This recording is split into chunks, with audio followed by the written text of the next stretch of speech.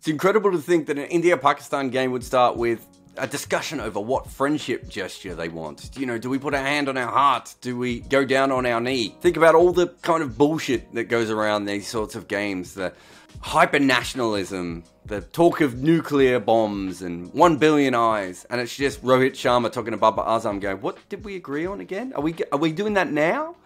There's something kind of nice about that. This is just a bunch of 22 people who happen to represent, you know, this incredible rivalry. This is the last knock. My dad refuses to tell me what this means.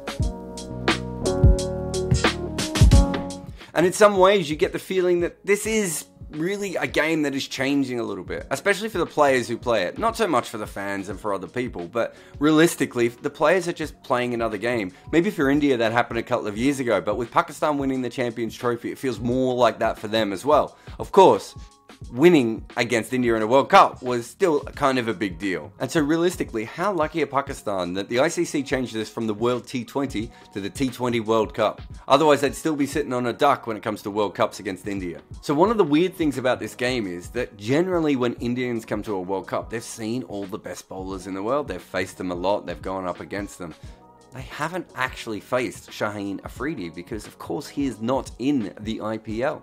Although obviously a few Pakistani players have actually played in the IPL at times. So over the last few years, the only Pakistani players we've seen are people like Imran Tahir, who's gone on to represent South Africa. It's all a bit weird. But for the Indians, playing in the IPL is great. You might only get one season of Mitchell Starc, but at least you get up to go up against him. And chances are, if you haven't faced him in the IPL, you'll face him somewhere else. And the same with all the best other bowlers around the world. But Shaheen Afridi is the world's best first over bowler, not power play bowler. He's almost specifically a champion at just that first over. And it's because he's fast and he's left arm and he gets a lot of swing. And he's basically unplayable in that over. And it's not an easy over to take wickets in either. And yet he takes them at a better average than 20, which is absolutely insane. It's not that he gets terrible after that. I mean, he's a fantastic T20 bowler kind of all the way through the game. It's just that he's at his absolute best in the first over. Although, to be fair, in this case, he was at his absolute best pretty much all the way through the game. Well, until that last ball. Rishabh Pant and the one-handers. I kind of like the way that Rishabh Pant went about his batting today. He he kind of accumulated a little bit until he set up bowlers and then he went for them. And it makes sense from a biomechanical point of view. You know, if you're not quite to the position you need to be at, you can stretch further with the one hand.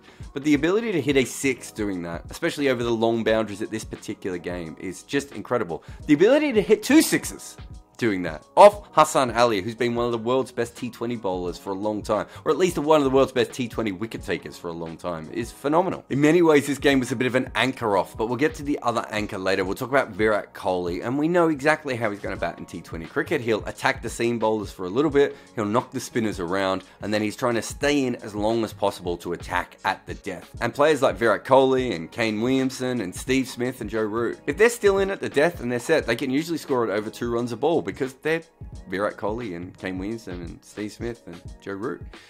And and that's kind of what Kohli was banking on. He knew that they were losing regular wickets, and he thought if he could get to the end, that's the point he could cash in. And just at that point is when he went out. And that's probably the difference between them making 150 and maybe potentially even getting up to 160, 165. Maybe none of that would have been enough today. But that explosion for Vera is really what they needed if he was going to bat at the pace he did for the rest of his innings. It might have been a normal way for Virat to bat, but it's not his fault that he was batting a little bit slower today. It's hard to tell if this was just Virat being Virat in the middle overs, or if it was a little bit of extra caution because of the quality of the Pakistani bowling and the fact that they were losing regular wickets.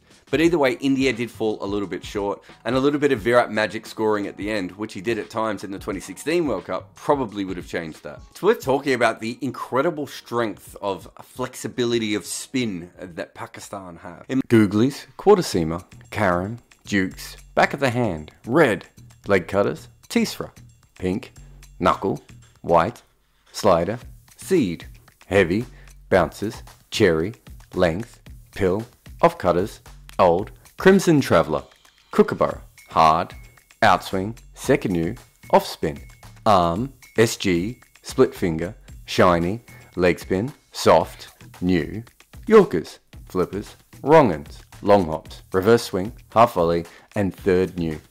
These are just some of the names we use for balls in cricket. Well, Manscaped wants you to be as proud of your balls as you are of the ones delivered by your favourite cricketer. Manscaped just launched their fourth generation trimmer, the Lawnmower 4.0. Join over 2 million men worldwide who trust Manscaped with this exclusive offer 20% off and free worldwide shipping. Insert the code REDINKER at manscaped.com. I've actually used this, um, not just something that I'm hawking for fun. And I got to admit, I thought it was a bit silly. And then I went down there and it was exceptional. I honestly feel I could bowl outswing with one nut and inswing with the other. So get 20% off and free worldwide shipping with the code REDINKER at manscaped.com. Manscaped, the man who cares about his balls as much as the ones out in the middle. Mohammad Hafeez, Shadab Khan, and Imad Wasim, they had, you know, three of the four flavors of spin bowling.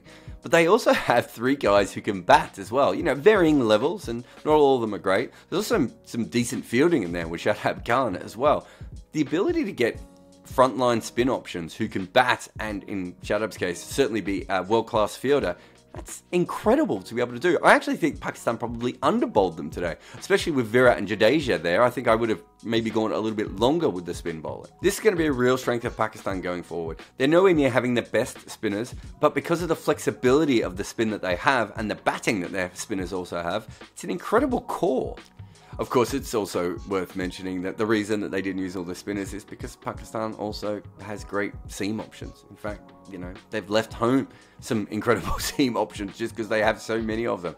During the match, I had a look at the high usage T20 bowlers from around the world to see where the Pakistani seam is fitted into that. And there's a lot of Pakistani seamers here, and most of them have incredible bowling averages to go with it. Shaheen Afridi was obviously great today. Haris Rauf didn't even take any wickets, but I thought he was just brilliant. And Hassan Ali had an absolute shocker, but still took two wickets. Pakistan seamers, eh? I thought Pakistan were really good in the field, right up until the last ball. In fact, not even right up until the last ball, was it? It was the ball after the last ball. Shaheen Afridi had actually finished his four overs. Well, at the very least, he should have finished his four overs. But instead, he had to bowl an extra delivery because of a free hit. And at this stage, he bowls another ball that it should have been a dot, or at least a one stolen by, as India were trying to get Hardik Pandya back on stroke. But the ball is thrown back to Shaheen Afridi, who throws the ball at the stumps as viciously as possible.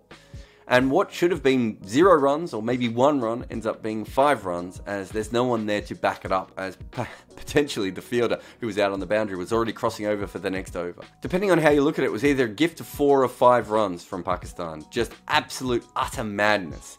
Didn't matter, but it was very funny. Mohammad Rizwan started opening for Pakistan last year. As a T20 player, he has batted in lots of different positions, and it's important to note that he's basically only ever been good at opening the batting. It's not to say that he was rubbish at the other positions, although he was fairly rubbish at most of the other positions. He's like an okay number four if you're in a pinch, but he's clearly a top quality opener. Now, everyone wants to open the batting in T20, so sometimes it's hard to get your chance to go up there. So when he got his chance, he had to take it straight away. Well, since opening the batting for Pakistan, he's averaged over 90. That is in no way sustainable. But it also in no way does any Pakistani fan care about that today. The seventh over of Pakistan's chase went for three runs, and the eighth over went for six runs. This is when Varun Chakravarthy and Ravi Jadeja was bowling.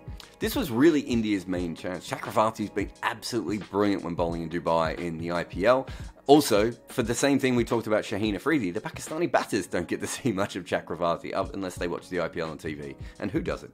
But it's not quite the same thing, is it? And Jadeja had two right-handers to bowl to. So realistically, there was a few things in favour of India here.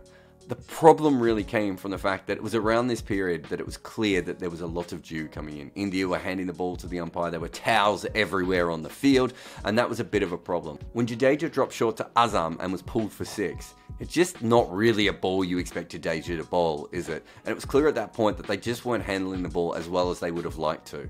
But you also have to give credit to Pakistan. They could have knocked the ball around in this period. And in the next three overs after the two earlier slow ones, they actually went a bit ballistic and they scored 28 runs in those overs. That was pretty much India's last chance of winning, and from that point onwards, Pakistan had the game. And by head the game, what I really mean is that Jasprit Bumrah is a factor if you have any kind of a chase. We've seen it for Mumbai Indians and for India many, many times before. He's that good. There aren't that many players that you have to factor in when you're playing in a T20 game. But when you're going up against India, you have to think, okay, from Bumrah, we may only be able to get between 20 and 24 runs, which means we have to be slightly more attacking off some of the other players. Now, there's always a chance you'll get more than that off Bumrah. He might have a bad day or someone might bat brilliantly against him.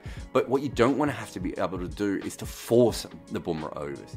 Well, Pakistan didn't have to. Once they got those 28 runs, they didn't have to worry about Bumrah after that. In fact, by the time Bumrah came on, there wasn't any pressure left on them and actually scored quite easily off him. And then there was a bit of an odd thing at the end where Virat Kohli probably kept him away from the bowling when he certainly should have bowled a little bit earlier. But realistically, I think the game has gone well before that. Pakistan needed 7.6 runs and over in their chase to win this game, and Babar Azam scores at 7.68 runs per over in all T20 cricket. Talk about a perfectly timed tempo for Babar Azam. I mean, people quite often talk about how he's a bit too slow in T20, and to be fair, when you look at the numbers, they're not always wrong. He certainly takes the anchor role very, very seriously. But in this particular case, that's exactly what you wanted him to do, and he played it perfectly.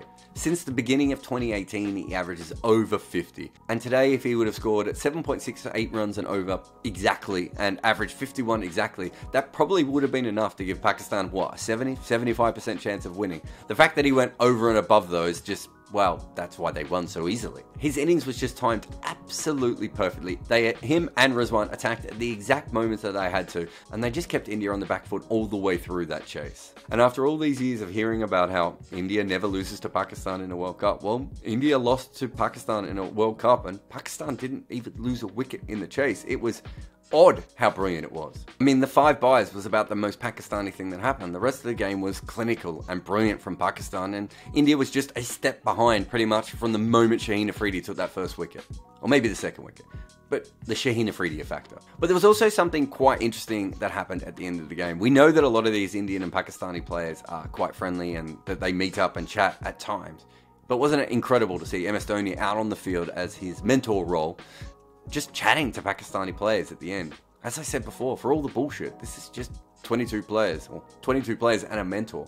There are going to be some Indian people who are very upset when they're lost, and obviously there are quite often Indian people who are very upset when they're lost. But when it comes down to it, it was a cricket game and Pakistan played better. But when it comes down to it, it was a cricket game where Pakistan just played better. This game may end up being referenced as a historic first win for Pakistan in a World Cup over India. It's also just a T20 game early on in a tournament that went Pakistan's way.